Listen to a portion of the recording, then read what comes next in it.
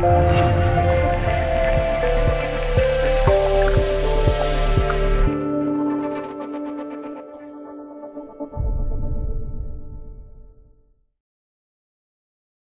宁队总冠军阵容：北京时间八月三十一日，根据沈阳日报的报道，辽宁队已经上报新赛季名单，十二人总冠军阵容加上刚刚宣布回归的高诗岩。值得一提的是，此前受伤的赵继伟也已经报名。沈阳日报在微博上写道：“今天是二零一八到二零一九赛季 CBA 联赛球员报名的截止日期。辽篮俱乐部今天证实。”已经提交名单，李晓旭、贺天举、丛明晨、哈德森、巴斯全部续约，总冠军阵容保留。新赛季名单中增加了从吉林队召回的高诗岩。上赛季，高诗岩在吉林队场均能够贡献九点八分、四点七篮板、三点七助攻。